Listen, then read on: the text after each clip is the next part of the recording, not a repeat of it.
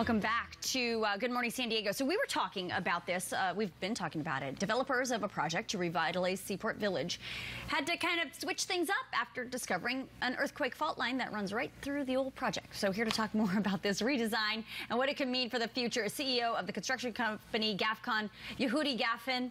Gaff, good to see you. Thanks for having me. Thank you Thank for you. coming in. Okay, so I know a lot a lot of people are interested in this project because it is really, you know, as, as our friends from the port always say, it is going to be the entrance to San Diego. It is going to be kind of a jewel of our community. What did you think when your plan got a little derailed by a fault line? To be frank, we expected it. I think any project of this nature and scale uh, changes over time, and this won't be the last change. I keep telling people a project, this isn't a project, it's really a program. It's multiple projects within a new district for San Diego. And as these projects develop, as we discover new things, as we have new opportunities to bring to the project, uh, we have to change it. We're actually working on an interim plan, hopefully, that'll test certain aspects of it and it'll change. The one commitment we've made to the public and the port is that the general program will stay intact. So the program that we submitted back in 2016 will still be there. So that program includes the spire, right? Correct. The big, you know, beautiful spire with the kind of what a restaurant on top. Is that what the idea is? Perhaps event center. An event center. Correct. Um, also, an education center Correct. in connection with with our with our aquarium and and all that other. Correct. We call it a learning, Learning center. It's going to be really under Scripps Institute of Oceanography. Wonderful. Focused on our ocean and the blue economy. Uh, three types of hotels hospitality, a hostel, a micro hotel, and a full service hotel. And we're actually looking at a five star to be there. So it's really going to provide a diverse uh, opportunity for uh, affordable hospitality on Right. the waterfront, not only high end. Okay, so I was I was reading through your report here that that you presented to the to the uh, to the Port Commission, and and I found that very interesting. The the different levels of hostile, you know, price points to stay there because the idea is, and you guys always had said this throughout, the idea was to bring the waterfront to the people. Exactly. And so, are there any other amenities like that to allow for the community to be one with the water? Yeah, so we believe strongly in a triple bottom line, and that's, uh, you know, obviously profit. The project has to make sense, but it's also about people and community, and it's also about conservation and education. So the, um, the school and the waterfront is really to bring the people to bring both the community to the to the commu- to the uh, community and the water. We're working very closely with the fishermen. San Diego used to be the heart and the, of of the American tuna fishing industry. So we're really trying to revitalize the fishing industry. The water is our front door. It's what makes this project unique. It's what gives us a very special, authentic place, and we're really trying to showcase that. Yeah. Um, I want to talk a little bit more, though, about what has also changed in the original proposal that came forward and was approved.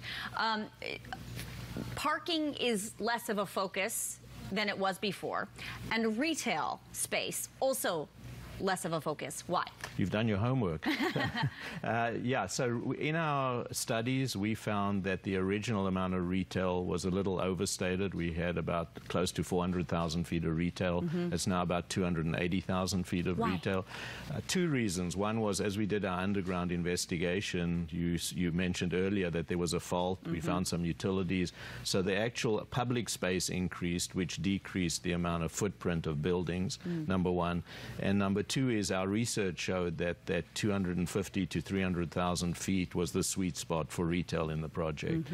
On the office space, which increased, um, we have found new opportunities in the blue economy. I'm working in Los Angeles, and there's a tremendous amount of interest in the blue economy in industries that need to be close to the water for various reasons. And uh, there seems to be a, a large demand for that type of office space on the water, and it's the only office space that can be done under the state lands doctrine. And, I the think parking. we and parking. We all know that parking's in a tremendous state of flux. I think with uh, with uh, rideshare and autonomous vehicles, the demand for parking started to decrease. We're actually seeing it, and was reported recently in the newspapers. So we are actually right in the middle of that change that's happening. So we're actually starting to look at that. We believe that before this project opens, there'll probably be a very large decrease in demand for parking and more of an increase in in rideshare and, and uh, offloading at projects like ours. You know, when we talk about an earthquake fault line going right through kind of that, right through that piece of property, um, and you you you add a spire that's going to be very tall, you know, a la the Seattle, you know, needle. Do you have any kind of concern? I mean, do you do you start to get nervous when you think, well, maybe there's a huge spire on a fault line? Might not be the best idea. No, really not.